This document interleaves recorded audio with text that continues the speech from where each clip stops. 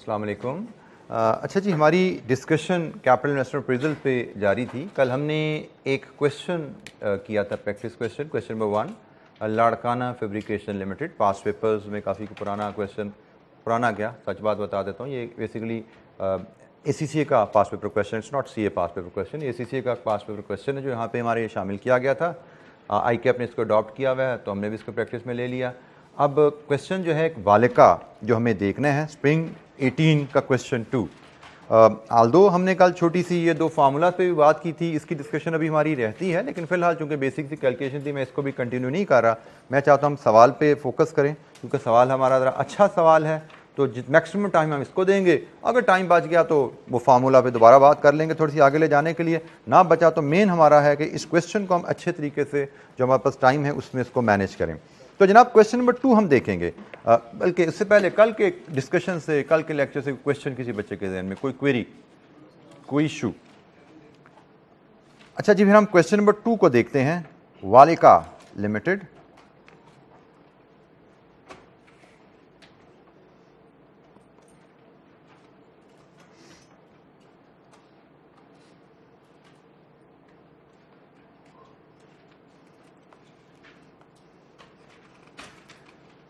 spring 18 question two इसके दो parts हैं जी। पहला पार्ट हम अभी डिस्कस नहीं कर सकते क्योंकि ये एरिया हमने कवर नहीं किया।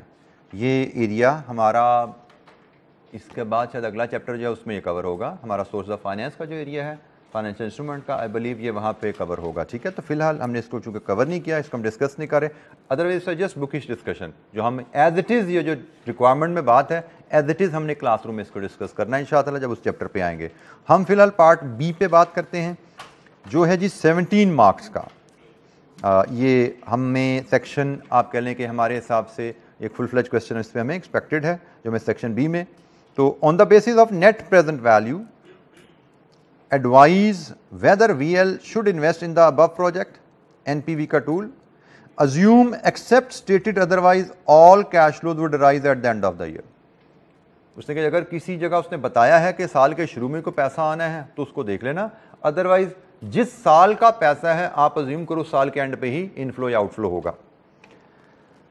अच्छा जी let's read the question NPV analysis करना है जी हमने। देखते हैं क्या इसमें इंफॉर्मेशन है और क्या क्या टूल्स हमारे यहाँ पे अप्लाई होने वाले हैं। Valika Limited, VL, plans to introduce a new product AX which would be used in hybrid cars. Following information is available in this regard. नई प्रोडक्ट इंट्रोड्यूस करने की तैयारी हो रही है जी हाइब्रिड कार में जो इस्तेमाल होगी Initial investment in the new plant including installation and commissioning is estimated at 50 million. Plant and machinery installation के साथ 50 million लगेगा The plant is expected to have a useful life of 4 years and would have an annual capacity of 200,000 units. चार साल तक इस्तेमाल होगा दो लाख तक मैक्सिमम प्रोडक्शन जा सकती है इसकी। The demand of A X for the first year expected to be one eighty thousand units which would increase by ten percent per annum in year two and three year one में demand क्या होगी? To और three में growth आएगी। However, in year 4 the demand is expected to decline to be to decline by 10 percent four में कम हो जाएगी जाके 10 फ़ीसद। बहरल देखते हैं इससे हम कैसे लेकर चलेंगे। Contribution margin for the first year is estimated at 100 per unit which is expected to increase by five percent each year पहले साल का कंट्रीब्यूशन हर साल पाँच फ़ीसद से बढ़ेगा। The new plant would be installed at VL's premises, which are presently rented out at 1.8 million per annum. बिल्कुल ठीक है जी। अगर हम ये प्लांट लगाएँगे तो रेंट इनकम फोरगो हो जाएगी। अपॉर्चुनिटी कॉस्ट का कॉन्सेप्ट आएगा। बिल्कुल ठीक है आपने बेटा। As per the terms of rent agreement the rent is received in advance and is subject to a seven percent increase per annum सालाना सात परसेंट का इजाफा उसमें आना है रेंट में और रेंट एडवांस में आता है। Working capital of 10 million would be required at the commencement of the project working capital is expected to increase by 10 percent each year the new plant would be depreciated at 25 percent under reducing balance method tax depreciation is to be calculated on the same basis ये भी ख्याल रखना है। बात का question में accounting depreciation tax depreciation के लहदा लहदा rate दे दिए जाते हैं। हमें टैक्स डेप्रिसिएशन चाहिए होती है, क्योंकि हम कैश फ्लोज में से टैक्स डेप्रिसिएशन लेस करते हैं ताकि प्रॉफिट्स हैं। अकाउंटिंग डेप्रिसिएशन हमारे किसी काम की यहाँ नहीं होती तो यहाँ पे उसने कह दिया जी 25 परसेंट है और यही टैक्स डेप्रिसिएशन है। The residual value of the plant at the end of the useful life is expected to be equal to carrying value ये अब एक थोड़ा नया एस्पेक्ट है इससे पहले हमने ये नहीं देखा तो इसको देखते हैं जी, क्या करेंगे इसके बाद। कॉस्ट ऑफ़ कैपिटल भी पता लग गई जी टैक्स रेट भी है and paid in the year in which tax liability arises taxes भी इन्वॉल्व है यहाँ पे हमारे पास, और वर्किंग कैपिटल भी है ऑपरेटिंग कैश फ्लोज और कंट्रीब्यूशन में इजाफा एवरीथिंग इज़ अवेलेबल मैं चाहूँगा आप दो मिनट में इसको एक बार फिर रीड थ्रू कर लीजिए डाटा ताकि आप इसको एब्जॉर्ब कर लें when we start discussing the solution take two three minutes एक बार रीड थ्रू कर लीजिए सवाल को। क्वेश्चन नंबर टू वालिका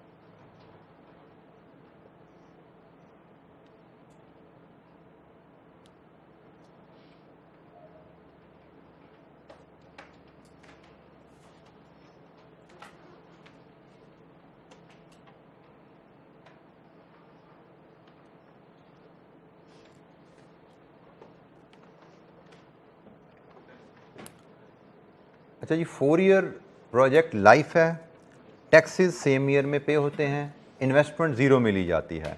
इसका मतलब हमें जो कॉलम चाहिए, वो ज़ीरो से फोर तक चाहिए, और चूँकि वैल्यूज़ सेल्स की कंट्रीब्यूशन की हर साल बदल रही हैं तो फॉर्मेट हमारा वही रहेगा जो हर साल के कैश फ्लोज के लिए हम बनाते हैं।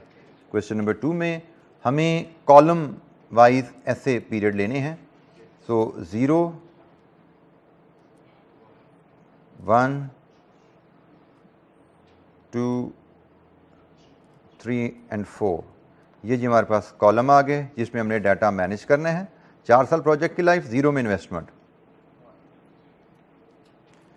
अच्छा जी, फिर हमने वैल्यूज़ कैसे प्रेजेंट करनी है? तो क्वेश्चन में वैल्यूज़ हमें रुपीज़ इन मिलियन में बताई गई हैं। तो हम रुपीज़ इन मिलियन में ही इनको प्रेजेंट कर लेंगे। और फॉर्मेट जो हमने सीखा था, हम जिस तरह सीक्वेंस लेकर चलते हैं, सबसे पहले हम इनिशियल कैपिटल इन्वेस्टमेंट के कैश फ्लोज ले लेंगे? ज़ीरो में इसकी इन्वेस्टमेंट आ जाएगी और चार साल बाद इसकी रेजिडुअल वैल्यू इसी लाइन में हम डाल लेंगे, ठीक है? फिर हम वर्किंग कैपिटल कैश फ्लोज ले लेंगे? देन हम नेट ऑपरेटिंग कैश फ्लोज लेंगे? Then taxation. This should give us net project cash flows मैंने एक दो लाइन छोड़ दी इन केस मुझसे कमीशन हो जाए तो हम उसको इनकॉपरेट करें। आपको भी एज अ हैबिट ऐसे ही चलना है। बेशक हर वैल्यू एक एक लाइन छोड़ के लिख लीजिए वो तो बहुत ही अच्छी बात है। बट अदरवाइज़ ऐसे जैसे टेबल क्लोज कर रहे हैं तो लाइन छोड़ के चलना ये भी बेनिफिशियल रहता है यूज़फुल रहता है। नेट प्रोजेक्ट कैश फ्लोज आएँगे हमारे पास और इनको फिर हमने डिस्काउंट करना है। कॉस्ट ऑफ़ कैपिटल में बताई गई है। कितनी है जी? टेन परसेंट फिर प्रेजेंट वैल्यू आएगी और फिर नेट प्रेजेंट वैल्यू ये जी हमारा क्वेश्चन का कंप्लीट फॉर्मेट बनता है। Starting with initial working initial capital investment कितनी है जी? 50 मिलियन की इनिशियल कैपिटल इन्वेस्टमेंट है तो 50.00 आउटफ्लो ज़ीरो में। इसकी रेजिडुअल वैल्यू उसने कहा कैरिंग अमाउंट के बराबर होगी। तो कैरिंग अमाउंट तो डेप्रिसिएशन की कैलकुलेशन के बाद पता लगेगी। और डेप्रिसिएशन की कैलकुलेशन हमने इसके लिए करनी है। तो हम इस वैल्यू को भी होल्ड करते हैं। जब डेप्रिसिएशन की कैलकुलेशन करेंगे, फिर इसकी रेजिडुअल वैल्यू ले आएँगे। तो हम वर्किंग वन बना लेते हैं। वर्किंग कैपिटल कैश फ्लोज के लिए। वर्किंग कैपिटल कैश फ्लोज हमने कहा था कांस्टेंट भी हो सकती है वर्किंग कैपिटल इन्वेस्टमेंट की रिक्वायरमेंट और वेरिंग भी हो सकती है। तो यहाँ पे हमारी working capital requirement varying expected to increase by ten percent each year उसने कहा, जी, शुरू में at the commencement of the project शुरू में आपको 10 मिलियन चाहिए, इसके बाद 10 परसेंट सालाना से आपकी रिक्वायरमेंट बढ़ेगी। हम वर्किंग वन में इसको जब प्रेजेंट करते हैं तो हमारी जो वर्किंग होगी, तीन कॉलम में वर्किंग कैपिटल कैश की वर्किंग जाती है, एक ईयर दूसरा कॉलम होता है वर्किंग कैपिटल रिक्वायरमेंट और तीसरा कॉलम होता है वर्किंग कैपिटल, कैश फ्लोज। और ये कैश फ्लोज की वैल्यू है जो हम लेके जाते हैं अपने टेबल में एक्सटेंड करते हैं। हमें कहा गया है, इमीडिएटली आपको 10 मिलियन की इन्वेस्टमेंट चाहिए वर्किंग कैपिटल में। और फिर कहा गया है, सालाना आपकी रिक्वायरमेंट में 10 परसेंट से इजाफा आएगा। मतलब साल बाद 10 into one point one eleven million दो साल बाद 11 into one point one twelve point one zero और तीन साल बाद twelve point one zero into one point one thirteen point three one और चार साल बाद तो प्रोजेक्ट खत्म हो जाएगा। चार साल बाद तो हमने मशीनरी बेच देनी है तो हमें पता है भाई इसकी रिक्वायरमेंट ज़ीरो हो जाती है। हमने जो सीखा हुआ है कि जब प्रोजेक्ट खत्म हो जाता है तो आपकी सारी इन्वेस्टमेंट जो आपने डाली हुई है, वो रिकवर करनी है। क्योंकि प्रोजेक्ट जब खत्म हो गया, आपने मशीनरी अपनी बेचती प्लांट ही बेच देना है तो आपने स्टॉक क्यों रखना है अपने पास? तो ये है जी हमारी वर्किंग कैपिटल रिक्वायरमेंट और इससे हम वर्किंग कैपिटल कैश फ्लोज बनाते हैं। प्रोजेक्ट शुरू करेंगे तो 10 मिलियन इन्वेस्ट करना पड़ेगा। साल बाद 1 मिलियन मजीद इन्वेस्ट करना पड़ेगा। एक और साल बाद 1.21 मजीद इन्वेस्ट होगा। और एक और साल बाद ये 1.21 नहीं होना था, क्या ठीक है ये? 1.1 1.1 अब ये आएगा 1.21 और एंड में 13.31 की रिकवरी इमीडिएट इन्वेस्टमेंट चाहिए। उसके बाद सालाना 10 फ़ीसद से आपकी रिक्वायरमेंट बढ़ेगी। आपको 10 मिलियन इन्वेस्ट किया, साल बाद 11 मिलियन चाहिए होगा। दो साल बाद बारह शरिया एक, तीन साल बाद तेरह शरिया तीन एक, चार साल बाद उसने बताया नहीं बट ये हमें पता होता है। जब प्रोजेक्ट खत्म हो जाता है तो वर्किंग कैपिटल में कोई पैसा नहीं चाहिए। ज़ीरो लेते हैं। ये जनाब हमने उससे कैश फ्लोज निकाल लिए इन कैश फ्लोज को अब हमने ऊपर टेबल में फ़ीड करना है। Any question working capital requirement से वर्किंग कैपिटल कैश फ्लोज बनाते हैं। वर्किंग कैपिटल कैश फ्लोज को हम अपने एनालिसिस में यहाँ पे शो करते हैं। Working capital investment initial 10 million then 1 million then 1.1 million then 1.21 million and then 13.31 की रिकवरी ये वर्किंग कैपिटल कैश फ्लोज आ गए हमारे पास। अच्छा जी, इसके बाद नेट ऑपरेटिंग कैश फ्लोज की कहानी है कि जब हम बिज़नेस मतलब नेट ऑपरेटिंग कैश फ्लोज हमारा बिज़नेस के रेवेन्यू और कॉस्ट का हिसाब किताब लगाओ। तो बिज़नेस के रेवेन्यू और कॉस्ट का हिसाब लगाने के लिए हम इधर अगर डाटा पे आए तो रेवेन्यू माइनस वेरिएबल कॉस्ट उसने एक हमें कंट्रीब्यूशन की फिगर बताई हुई है। ये जी, उसने contribution margin for the first year बताई हुई है। ये रेवेन्यू माइनस वेरिएबल कॉस्ट होगी पर यूनिट और फिक्स्ड कॉस्ट की मद में उसने सिर्फ़ हमें एक वैल्यू दी हुई है। रेंटल फोरगोन इसके अलावा उसने कोई फिर कॉस्ट हमें क्वेश्चन में ज़िक्र नहीं किया हुआ, ठीक है? तो हमें ऑपरेटिंग कैश फ्लोज में कंट्रीब्यूशन पर यूनिट दिया है यूनिट्स वॉल्यूम निकालना पड़ेगा, और ये फिक्स कॉस्ट की मद में 1.8 मिलियन दिया हुआ है।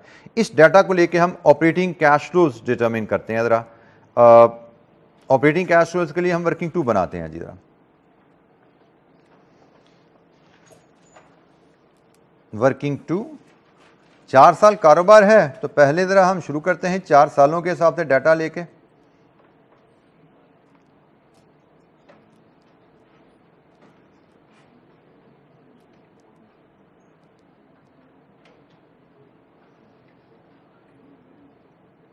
वन टू थ्री फोर अच्छा जी, हमें एनुअल कंट्रीब्यूशन चाहिए। एनुअल कंट्रीब्यूशन हमारा क्या होगा? Sales into contribution per unit sales into contribution per unit तो सेल्स हमारी कितनी होगी? उसके लिए उसने में डिमांड का एक डाटा बताया हुआ उसने में कहा है पहले साल डिमांड होगी 180,000 यूनिट्स और इसके बाद ग्रोथ है इंक्रीज है सालाना टू और थ्री में टेन परसेंट का इजाफा है। तो जनाब ये टू एंड थ्री में टेन परसेंट इंक्रीज है तो पहले उसको इनकॉपरेट कीजिए। 198,000 एंड 217 800 और थ्री में ईयर फोर में 10 परसेंट डिक्रीज है। तो इंटू पॉइंट नाइन कीजिए। इंटू पॉइंट नाइन कीजिए। One nine six zero two zero ये है डिमांड बट डिमांड का मतलब ये नहीं कि हम ये यूनिट बेच पाएँगे। क्योंकि हमारी तो कैपेसिटी है दो लाख की। तो इस डिमांड के अगेंस्ट अब हम सेल्स डिटरमिन करेंगे। हमारी जो सेल्स होंगी मैक्सिमम 200,000 तक जा सकती हैं।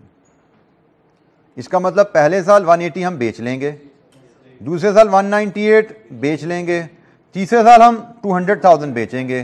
और चौथे साल भी हम 196,020 बेच लेंगे। ये है जी हमारी डिमांड मार्केट में क्या होगी और हमारी हम डिमांड तो टू द एक्सटेंट ऑफ़ अपनी कैपेसिटी फुलफिल कर सकते हैं ना।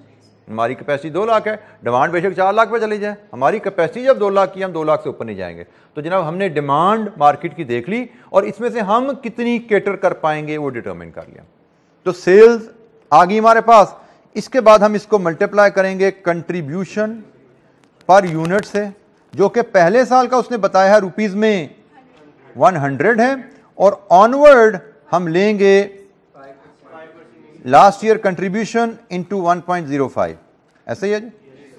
तो जनाब नेक्स्ट ईयर होगा ये 105 next year 110.25 next year one two one point two eight लीजिए जी, यहाँ से अब आप लेंगे।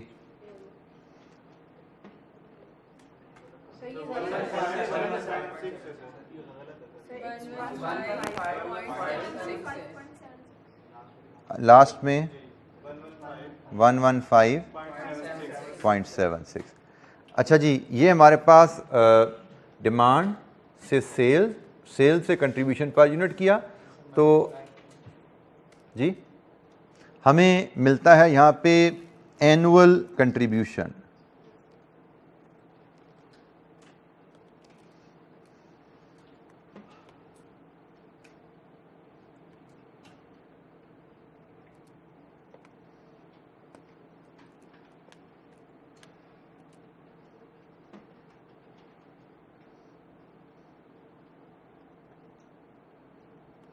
जी एन ओ कंट्रीब्यूशन अब ये आप रुपीज़ इन मिलियन में बता दीजिएगा, क्योंकि सारा डाटा रुपीज़ इन मिलियन में दे रहे थे।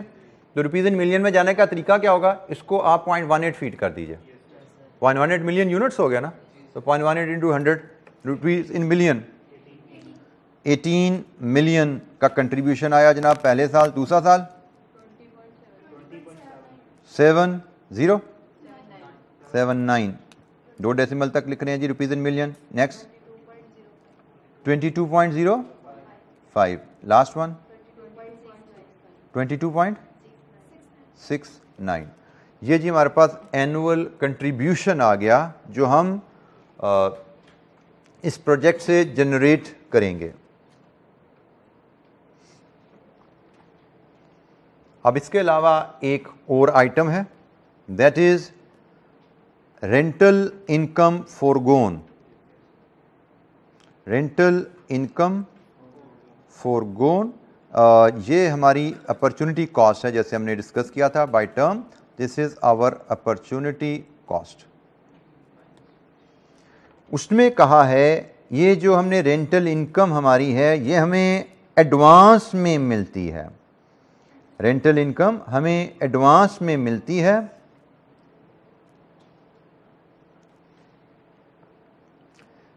The new plant would be installed at real premise which are presently rented at 1.8 उससे हम आज 1.8 मिलियन वसूल करते आए हैं। As per the term of the rent agreement the rent is received in advance and is subject to seven percent increase per annum अभी तक हमने रेंट वसूल किए हैं 1.8 पर एनम के हिसाब से।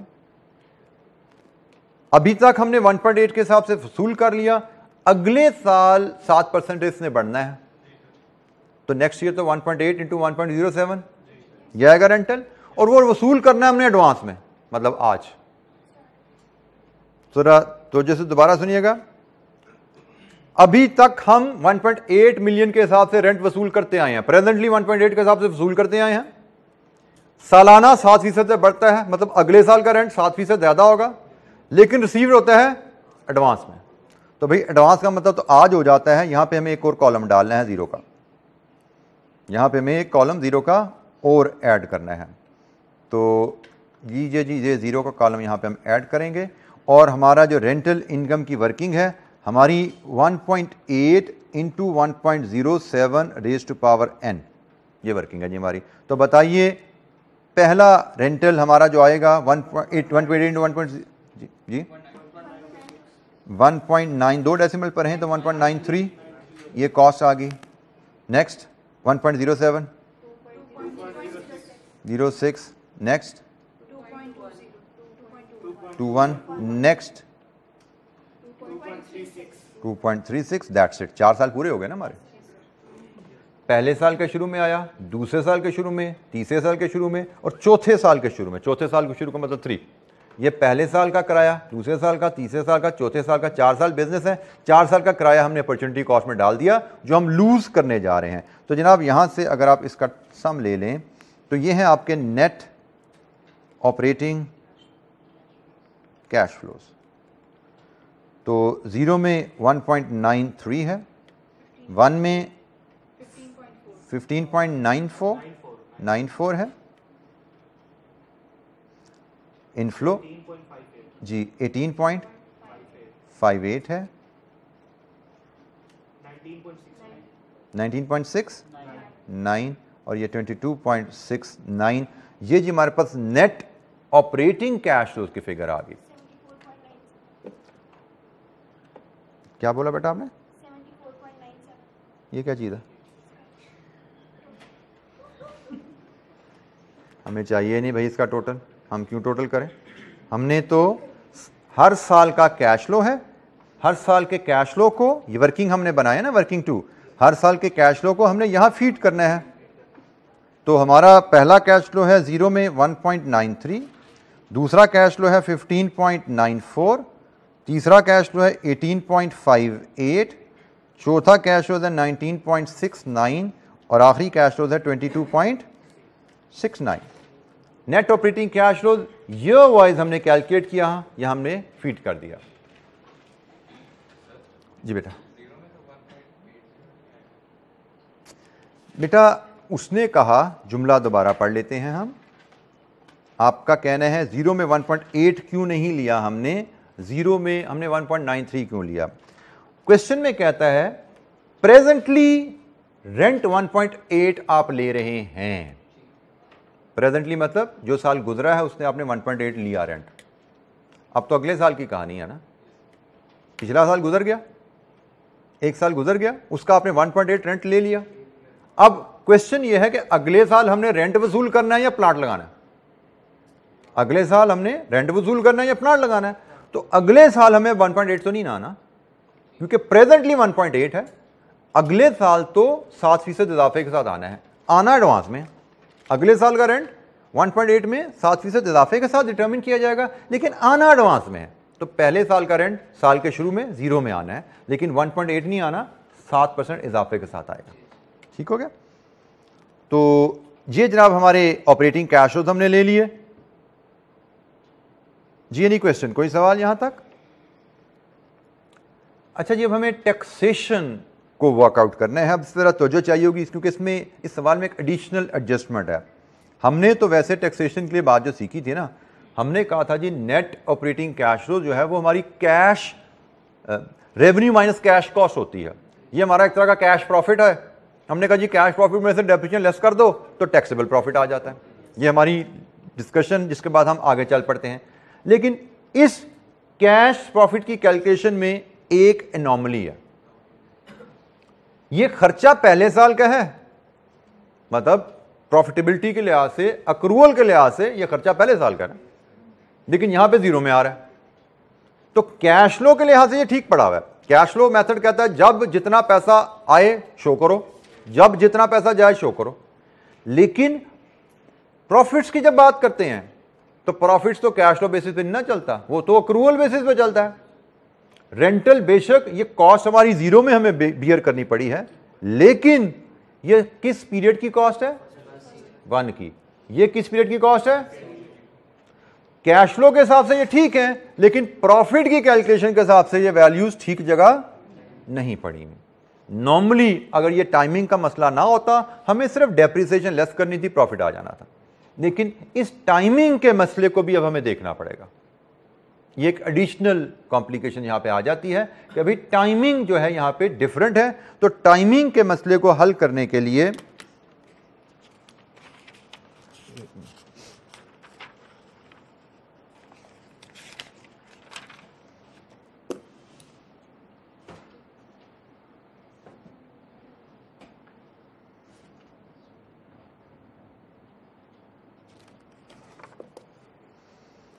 तो टाइमिंग एडजस्टमेंट हम इसको लिखते हैं कि time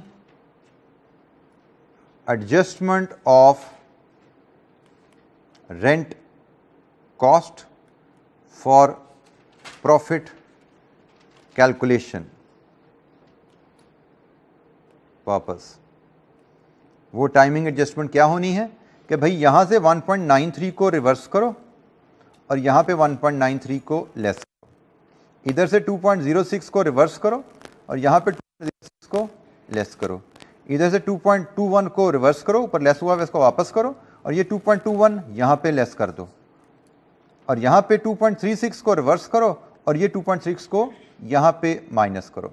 तो ये हमने टाइमिंग की एडजस्टमेंट डाली है कि भाई प्रॉफिट एंड लॉस की कैलकुलेशन के हिसाब से जो 1.93 है, ये पहले साल का रेंटल है।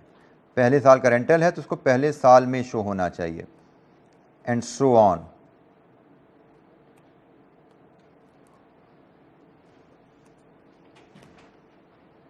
cash flow point of view से ये बात ठीक है? हमने यहाँ पे मैयर की, इसको हमने अपने आंसर में अकाउंट फॉर कर दिया। लेकिन जब हम प्रॉफिट की तरफ़ जा रहे हैं तो फिर ये भाई कैश बेसिस नहीं अक्रूवल बेसिस चाहिए। तो हम कर क्या रहे हैं? इस 193 को हम यहाँ पे कैंसिल आउट कर रहे हैं। प्रॉफिट की कैलकुलेशन के लिए। इस 2.06 को हम यहाँ पे कैंसिल आउट कर रहे हैं प्रॉफिट की कैलकुलेशन के लिए। इस 2.21 को हम प्रॉफिट की कैलकुलेशन के लिए यहाँ पे कैंसिल आउट कर रहे हैं। ये 2.36 यहाँ पे कैंसिल आउट हो रहा है।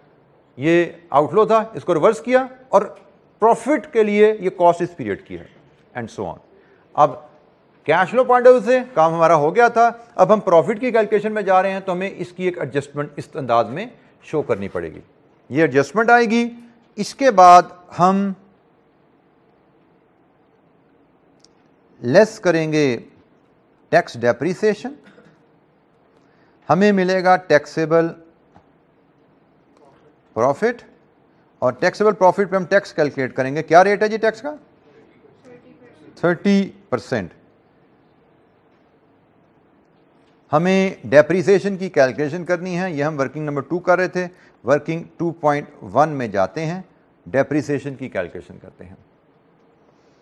डेप्रीसिएशन की कैलकुलेशन से ही हमें रेजिडुअल वैल्यू भी सर्टेन करनी होगी। इसकी इम्प्लीकेशन क्या बनती है, उसको भी देखते हैं अभी हम।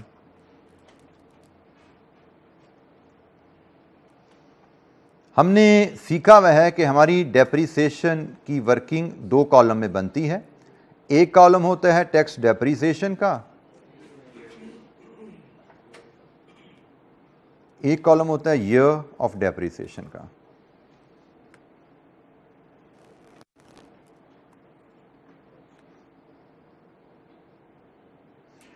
हमारी इनिशियल इन्वेस्टमेंट जिस पे डेप्रीसिएशन हमें अलाउ होनी है, वो है जी 50 मिलियन तो हमारी initial investment reducing balance method से रुपीज़ इन मिलियन में ये वर्किंग कर रहे हैं। 50 मिलियन पे हमें डेप्शन अलाउ होनी है। और क्या रेट है डेप्शन का? 25 परसेंट रिड्यूसिंग बैलेंस कितना आया? 12.50 पहली डेप्रिसिएशन वन में टू में थ्री में लाइफ कितनी है जी? चार साल। तो जनाब, आखिरी डेप्शन यहाँ पे आनी है। अब तो जो कीजिएगा। हम पहले क्या कर रहे थे? हमें रेजिडुअल वैल्यू क्वेश्चन में गिवन होती थी। हम initial investment minus residual value करके अलाउबल डेप्शन लाते थे और बाकी डेप्शन कंप्लीट करते हुए आखिरी साल बैलेंसिंग ले लेते थे। अब हमें रेजिडुअल वैल्यू गिवन है।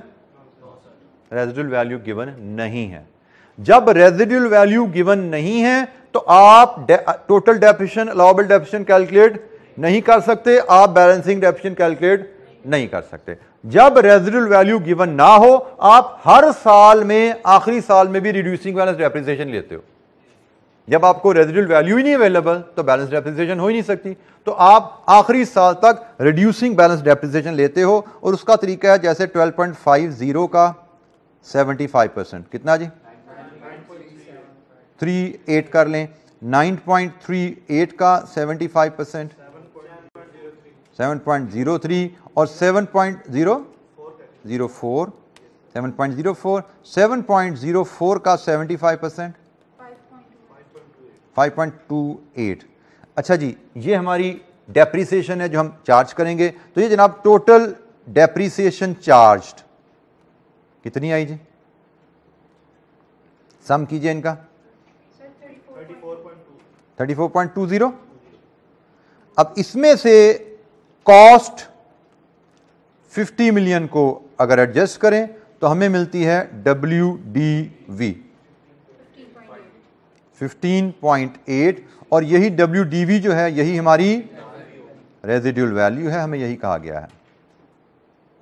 तो यहाँ से हमने डेप्रिसिएशन भी पिक कर ली, जो प्रॉफिट की कैलकुलेशन में यूज़ होनी है, और यहाँ से हमने रेजिड्यूल वैल्यू भी पिक कर ली वर्किंग 2.1 से तो रेजिड्यूल वैल्यू को हम जाके फ़ीड करते हैं ऊपर पहले 15.8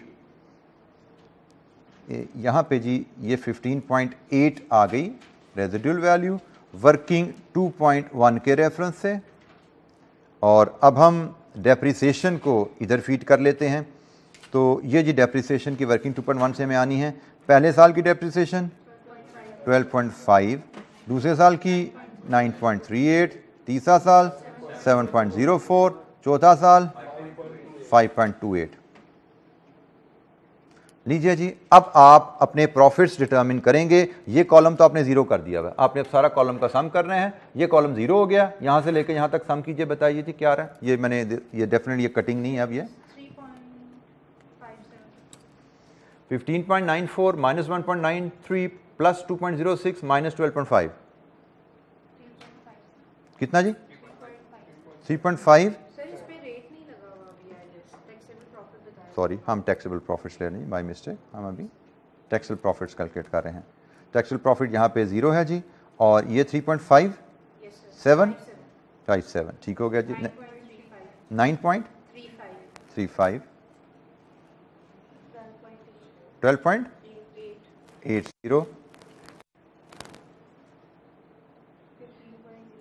fifteen point zero five अब इस पे ये हमारे टैक्सेबल प्रॉफिट्स आ गए हैं। इस पे 30 परसेंट के हिसाब से हम कैलकुलेट कर सकते हैं tax 1.07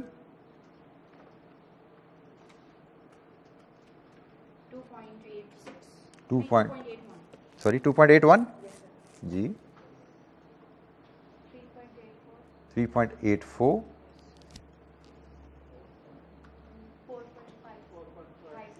five four five two लीजिए जी हमारे पास टैक्सेस आ गए हैं और ये टैक्सेस हमने अब पे करने हैं सेम ईयर में। यही लिखा हुआ ना?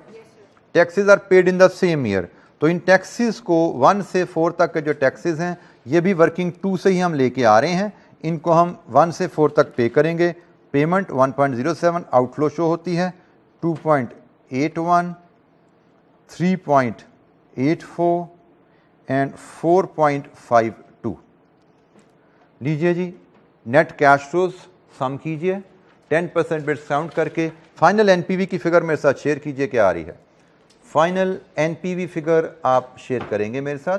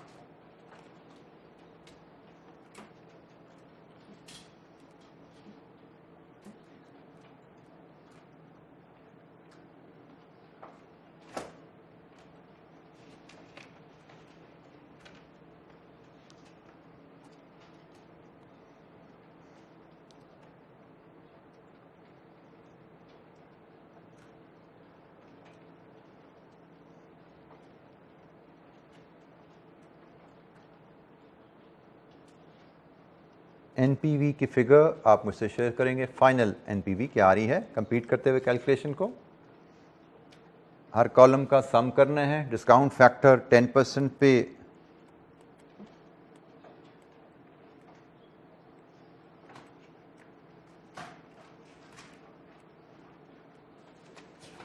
ये जी फैक्टर टेबल से हम कॉपी पेस्ट करते हैं और present value then net present value.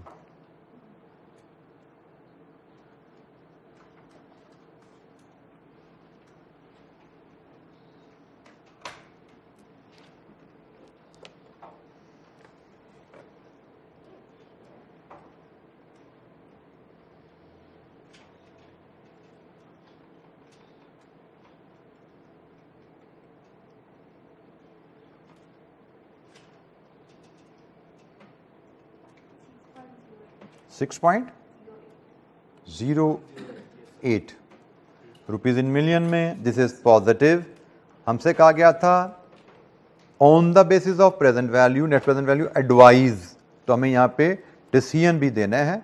सिर्फ़ पॉजिटिव एनपीवी कैलकुलेट करके बात ख़त्म नहीं हुई। उसने एडवाइस मांगी है। Since project has positive NPV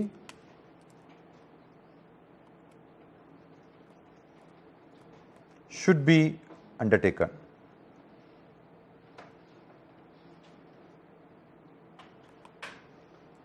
आखिरी एक डिसीज़न लिखने का गालबन एक नंबर यहाँ पे होगा, फिर डिसीज़न लिखने का, क्योंकि प्रोजेक्ट फीजेबल है so it should be undertaken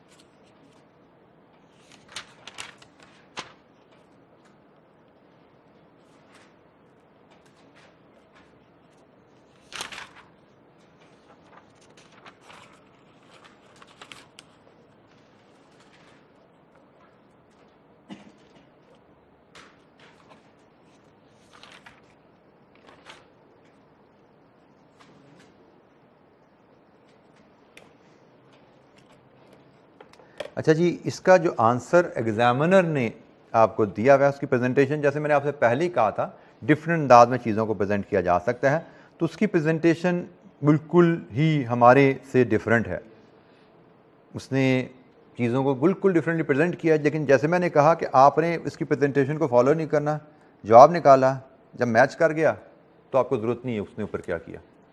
क्योंकि आप इसकी वैल्यूज़ अपने आंसर से वैल्यूज़ को मैच करने जाओगे ना पीछे तो मुश्किल होगी, आपको दिक्कत होगी। कई वैल्यूज़ आपकी मैच नहीं करेंगी। कुछ करेंगे, कुछ नहीं करेंगे।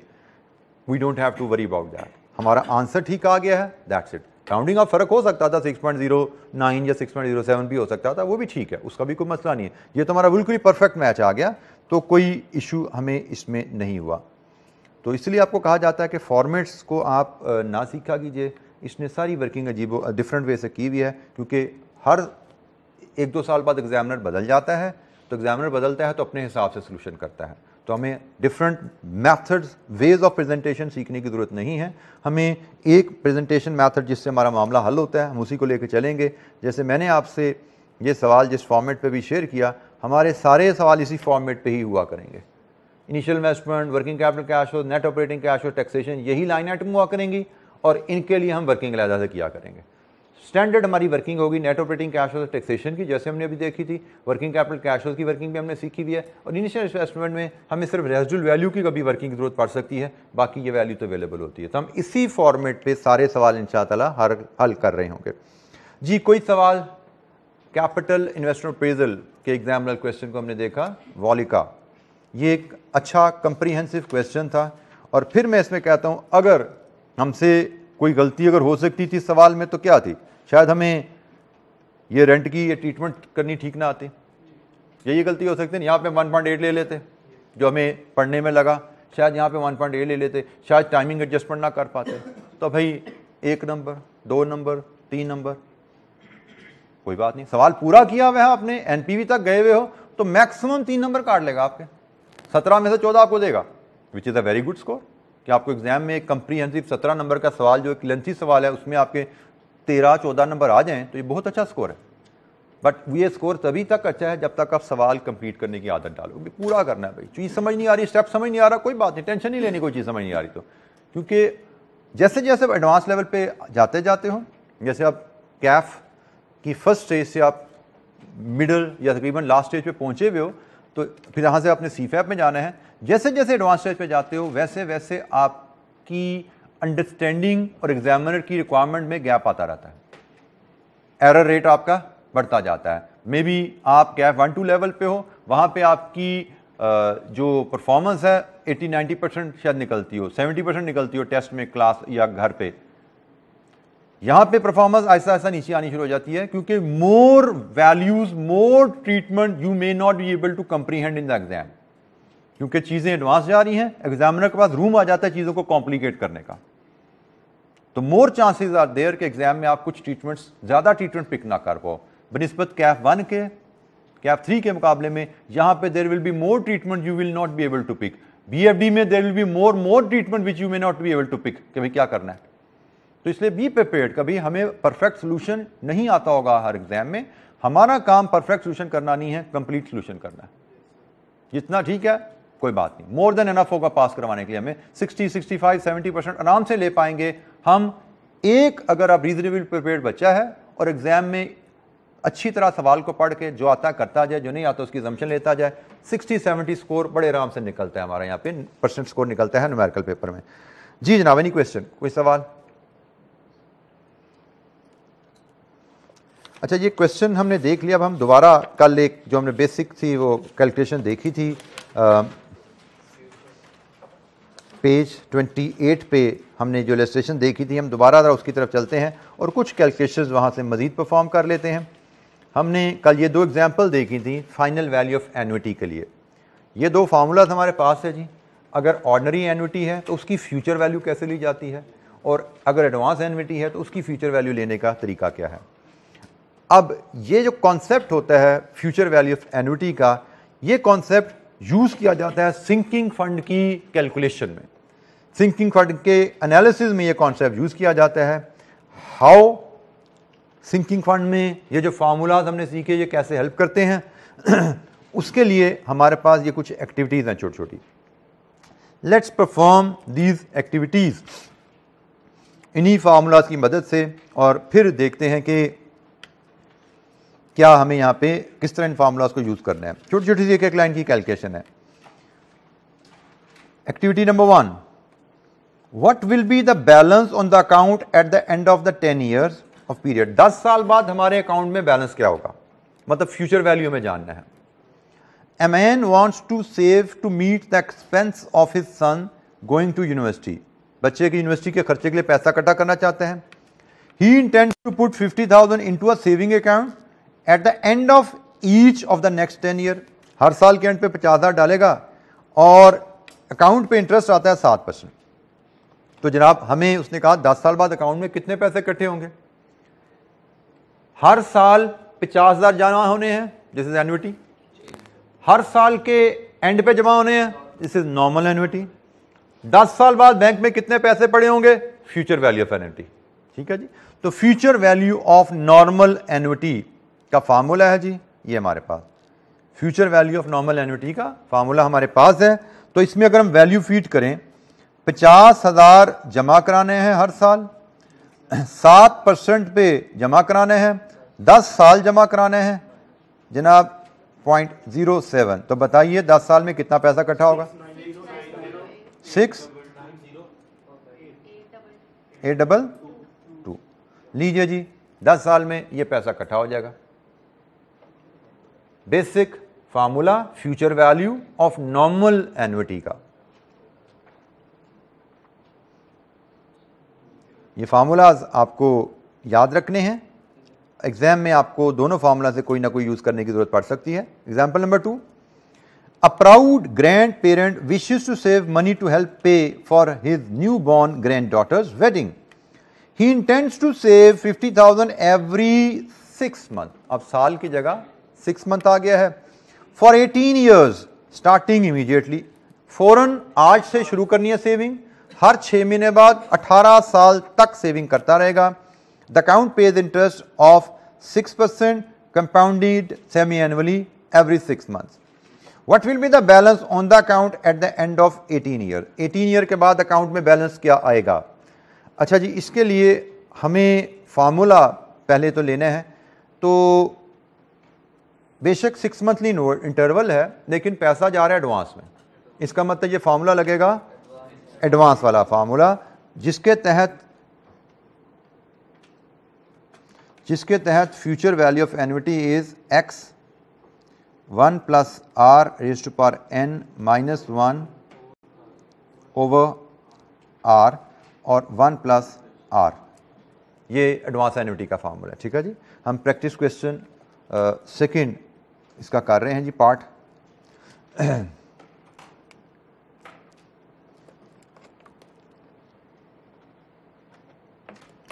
एक्स हम कितने पैसे जमा कराना चाह रहे हैं?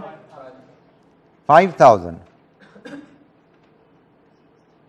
अब पैसे चूँकि हम सिक्स मंथली जमा करा रहे हैं तो इसलिए हमें रेट को भी सिक्स मंथली बनाना पड़ता है। जब भी आपको बैंक का इंटरेस्ट रेट दिया जाता है, वो सालाना रेट होता है। यहाँ पे उसने बताया हुआ है कि हमारी इन्वेस्टमेंट होनी है सिक्स परसेंट पे, लेकिन compounded semi annually six percent rate हमेशा एनुअल होगा और कंपाउंडेड सेमी एनुअली का मतलब तीन परसेंट छह महीने बाद और तीन परसेंट छह महीने बाद। Rates are always annual six percent compounded semi annually का मतलब छह फ़ीसद के साल में दो पेमेंट्स होंगी, तीन तीन। तो जब हमारे कैश फ्लोज की फ्रीक्वेंसी सिक्स मंथली है तो जनाब हमारा आर भी इस केस में फिर six by two three percent बन जाएगा। और जब हमारी कैश फ्लोज की फ्रीक्वेंसी सिक्स मंथली है तो फिर हमारी एन भी सिक्स मंथली पीरियड्स बन जाते हैं eighteen years into two thirty six periods तो ये फार्मूला में अगर तो कैश फ्लोज एनुअल हैं तो r annual rate n number of years है. अगर कैश फ्लोज में कैश फ्लोज सिक्स मंथली है तो आर सिक्स मंथली रेट और n number of period six monthly बन जाते हैं. तो putting in the values 1.03 three raised power 36 over point zero three कितने पैसे इकट्ठे होंगे जी? 1.03 फार्मूला पूरा 1.1 प्लस आर जी.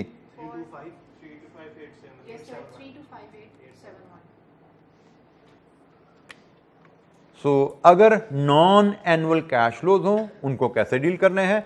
जो कैश फ्लो की फ्रीक्वेंसी है उस फ्रीक्वेंसी के हिसाब से आर को भी एडजस्ट करना है उस फ्रीक्वेंसी के हिसाब से एन भी मैयर करना है। अगर सालाना कैश फ्लो है तो n is years six monthly cash flow है तो n is six monthly periods quarterly cash flow है तो n is quarter quarterly periods तो हमारे पास यहाँ पे 18 साल में सिक्स मंथली 36 इन्वेस्टमेंट्स आएँगी। और सिक्स मंथली रेट हमारा तीन परसेंट आता है। जी एनी क्वेश्चन कोई सवाल? एक और छोटी सी कैलकुलेशन इसी तरह की। थ्री अब ये प्रॉपर सिंकिंग फंड का कॉन्सेप्ट है। हमने पहले उस फॉर्मूले की एप्लीकेशन फ्यूचर वैल्यू के कॉन्सेप्ट में सीखी। अब ये सिंकिंग फंड के कॉन्सेप्ट में बात आई है, उसका प्रॉपर आपकी अंडरस्टैंडिंग यहाँ पे मिलेगी। A business wishes to start a sinking fund to meet a future date repayment of 100 million due in 10 years 10 साल बाद 100 मिलियन का डेट रीपे करना है।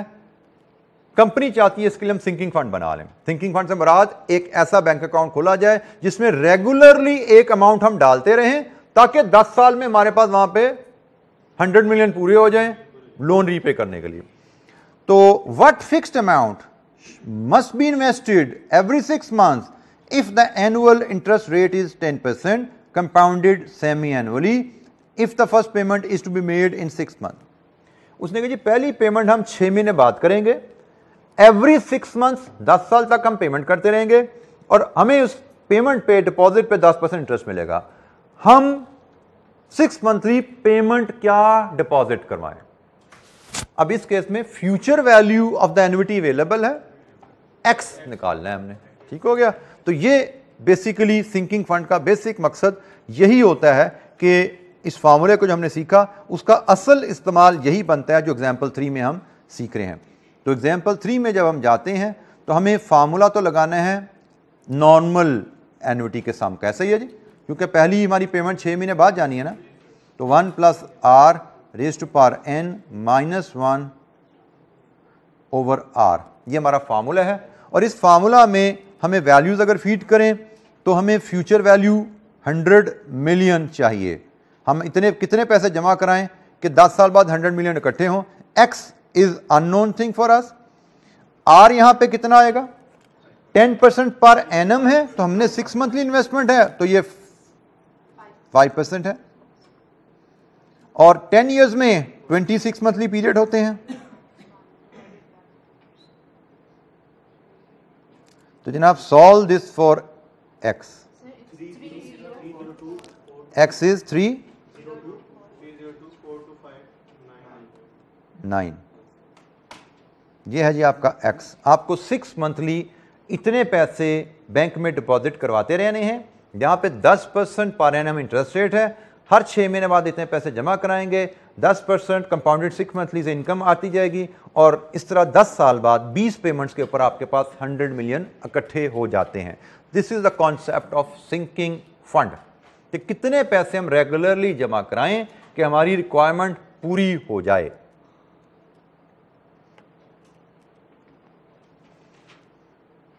एक, मैं आपको छोटी सी एक्टिविटी देता हूँ सिंकिंग फंड की, इसको सॉल्व कीजिए। सम required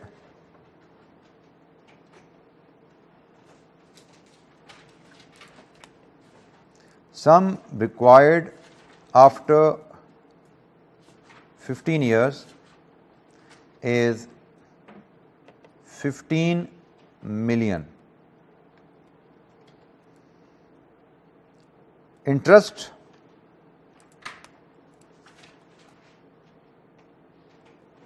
rate offered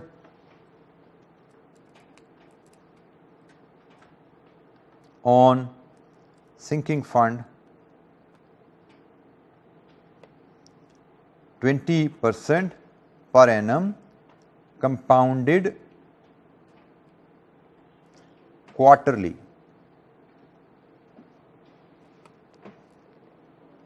ठीक होगा जी what quarterly investment should be made starting immediately to meet fund requirement in 15 years.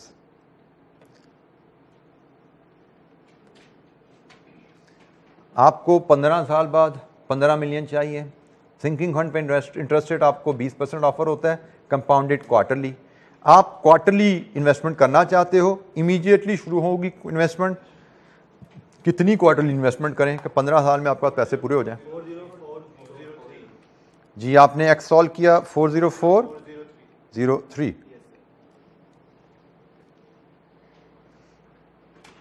जी वेरीफाई कीजिए। ये इक्वेशन बनती है आपकी 15 million is equal to x 1.05 point zero five raised power 60 over point zero five minus one into one point zero five इसको x के लिए solve करें। Four zero four zero, three. ठीक हो गया जी? सिंकिंग फंड का कॉन्सेप्ट क्या है?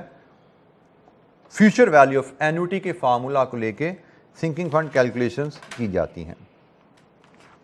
इस चैप्टर में थोड़ी सी एक 15-20 मिनट की डिस्कशन और है। सिंकिंग फंड को रिलेटेड एक छोटी सी कैलकुलेशन और है। अल्टरनेटिव मेथड से सिंकिंग फंड की पेमेंट निकालना। तो वो हम इन जब मिलेंगे ईद के बाद, मंडे को, तब देखेंगे। और मेनली पंद्रह मिनट डिस्कशन उसके बाद पास पेपर क्वेश्चन ही हैं। को पाँच छः हमारे पास क्वेश्चन और हैं हमारे एजेंडे में। उनको हम डिस्कस कर रहे होंगे। तो अभी फ़िलहाल हम इस चीज़ को इस पॉइंट पे क्लोज़ कर रहे हैं। और अब इन हमारी मुलाकात ईद के बाद होगी और रिज़ल्ट के भी बाद होगी। ठीक है? इन तो बहुत बहुत नेक तमन्नाएँ आपके लिए, दुआएँ आपके लिए, आपके रिज़ल्ट के लिए। अल्लाह ताला आप सबको बहुत ज़्यादा कामयाबियाँ दें। और आप सबको मेरी तरफ़ से एडवांस में ईद मुबारक। इन अब हम ईद के बाद नाइन्थ ऑफ़ मे को मंडे को मिलेंगे। ठीक है जी? और मंडे को मिलेंगे तो ट्यूसडे वेनसडे दो तीन दिन में हमारे ये प्रैक्टिस क्वेश्चन जो हैं, जो हमने प्लान किए हुए हैं, इनको हम कंप्लीट करके आगे मूव कर रहे होंगे।